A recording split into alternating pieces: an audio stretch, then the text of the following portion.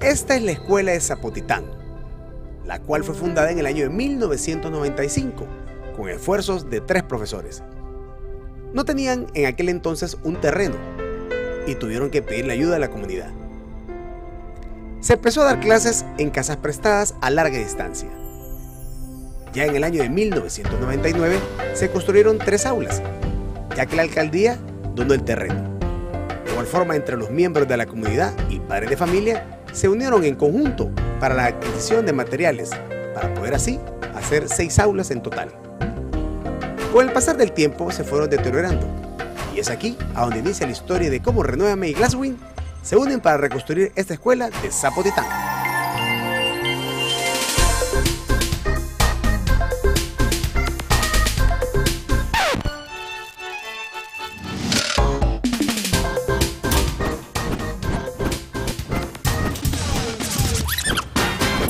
Renuévame. Una de las exalumnas del centro escolar es Inés Beatriz. Ella se acercó al personal de la ONG Glasswing y les preguntó si era posible ayudar a su comunidad. Ella estudió en la escuela cuando aún tenía tres aulas.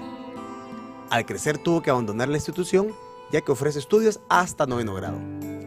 Su sueño es convertirse en una profesora de idiomas. Su espíritu altruista y su enorme corazón le han permitido convertirse en voluntaria ayudando a la comunidad. Y sin duda alguna, Beatriz es un digno ejemplo para todos.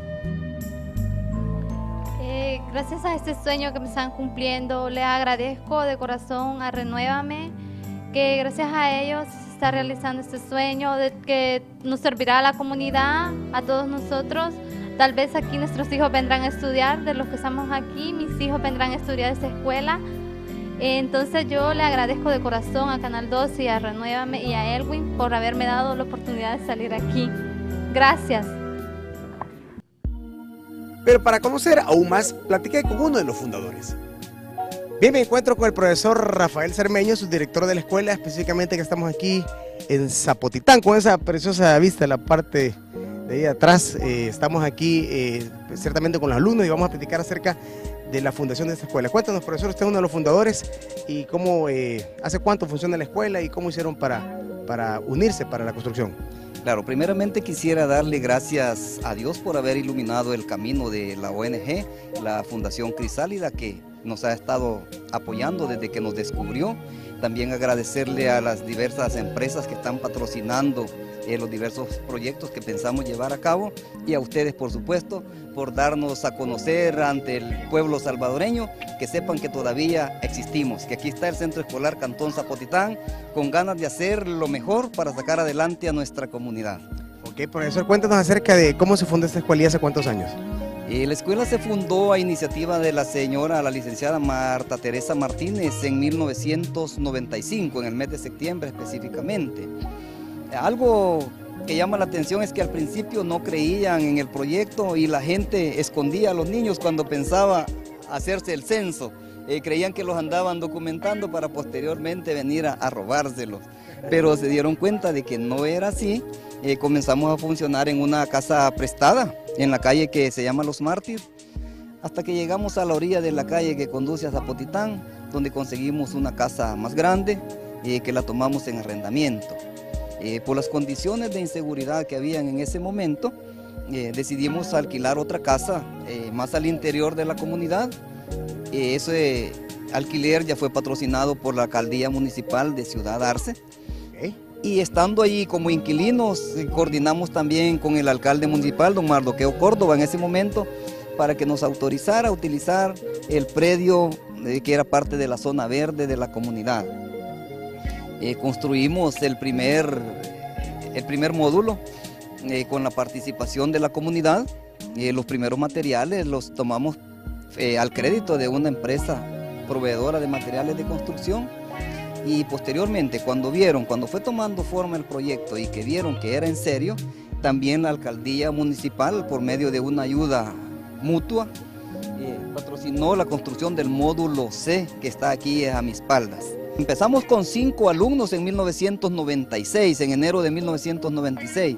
A estas alturas nosotros tenemos 480 alumnos eh, en los niveles de parvularia, eh, primero, segundo y tercer ciclo. Ya esta sería la quinta promoción que egresaría de tercer ciclo. Tenemos muchas, muchas necesidades, pero lo más apremiante es problemas de seguridad porque no tenemos un cerco perimetral. Eh, los servicios sanitarios que todavía son de, de fosa, eh, el sistema eléctrico que está bastante deteriorado, eh, la pintura eh, que no hemos tenido los recursos para renovarlas y un área de recreación que, que también nos hace falta. Muchísimas gracias, profesor. Ahí están entonces este, las primeras impresiones. Vamos a ver entonces entre todos, como decía, cómo nos queda este proyecto. Gracias a Renuévame y, por supuesto, Crisalida. Ya con la comunidad nos pusimos de acuerdo para repartirnos las obligaciones y responsabilidades. Después platiqué con la directora, que nos comentó su punto de vista. Bueno, pues estamos contentos de recibirlos, estábamos esperando ansiosamente su llegada. Eh, le damos las gracias a Glasgow Internacional, a Crisálida y a Canal 12 por este programa tan bonito.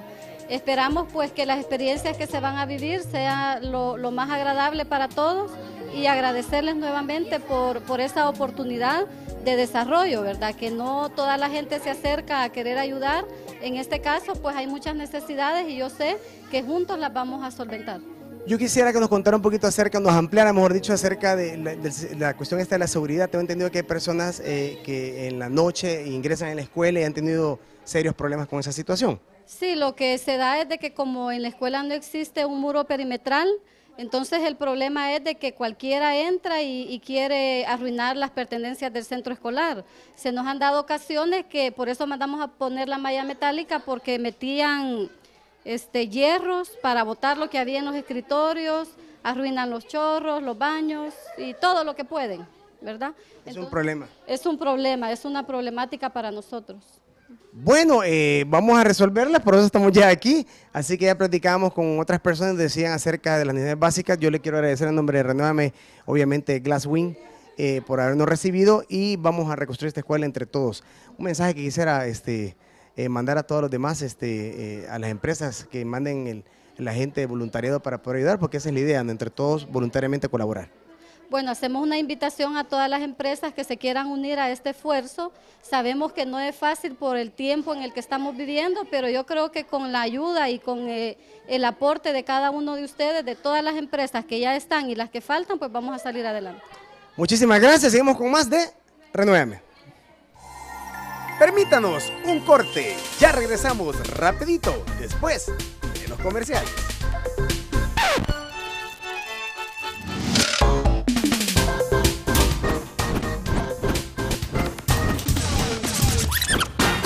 Renuévame.